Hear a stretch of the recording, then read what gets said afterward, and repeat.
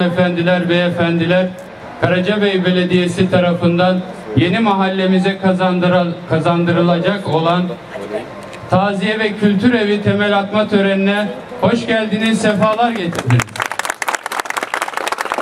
Karacabey Belediyesi olarak sıkıntı neyse, dert neyse, nasıl derman oluruz onun e, çalışmalarını yapıyoruz.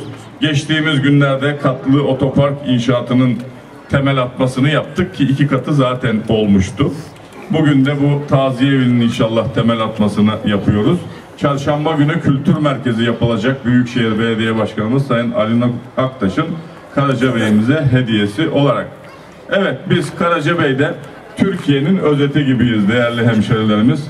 Türkmeniyle, Kürdüyle, Arnavuduyla, Çerkeziyle, Gürcüsüyle, Boşmanağıyla, Alevisiyle, Sünnisiyle hepimiz aynı kilimin desenleriyiz. Hepimiz kardeşiz ve kardeş olarak yaşıyoruz. Her bölgenin kendine göre bir kültürü var. İşte bu mahalledeki vatandaşlarımız da bizden rica ettiler. Dediler ki bizim geleneklerimizde taziye evine ihtiyaç var. Bunu gerçekleştirir misiniz? Biz de daha önce başka bir arsaya bakmıştık. Belediyenin mülkiyetinde olan. Orada sanki çok rahat olmayacaktı bu hizmet. Dolayısıyla bu arsayı satın aldık.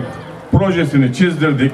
ihalesini de yaptık. İnşallah bugün Sayın Milletvekilimizin de hayırlı uğurlu elleriyle temel atma törenini gerçekleştireceğiz. Ben bu tesisin mahalle sakinlerimize, Kayraca Bey'imize hayırlara vesile olmasını Cenab-ı Allah'tan niyaz ediyorum. Arkadaşımız Ramazan bayramına bize söz veriyor.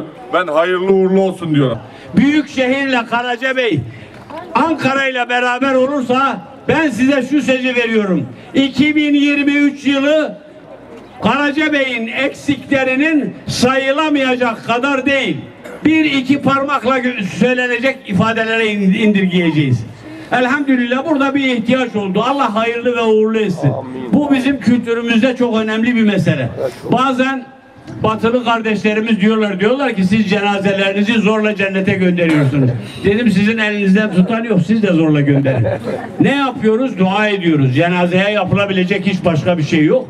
Geliniyor bu taziye evlerinde dua ediliyor. İnşallah cenazelerimizin az olacağı mutlaka olacak. Çünkü dünyada yaşayan tek bir varlık yok. Eğer yaşasaydı Resulullah sallallahu aleyhi ve sellem yaşayacaktı. Hepimiz gideceğiz. Allah imanı kamil, huzur, istikrar ve ülkemizin ilelebet devamı için burayı hayırlara vesile kılsın.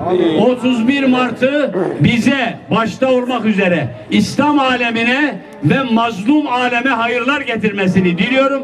Hepinizi saygıyla, sevgiyle, muhabbetle selamlıyorum. Ramazan bayramında Allah nasip ederse biz Bursa'dayız ve buranın açılışını da beraber yapacağız. Doğru mu? Ya Allah, Bismillah, Allahu Ekber, Allah hayırlı uğurlu etsin.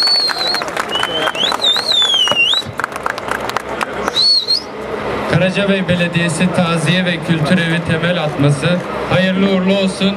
Ramazan bayramında inşallah açılışını hep birlikte gerçekleştireceğiz.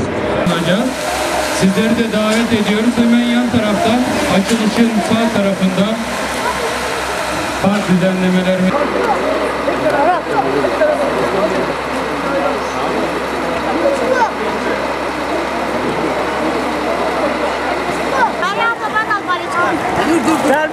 Nossa.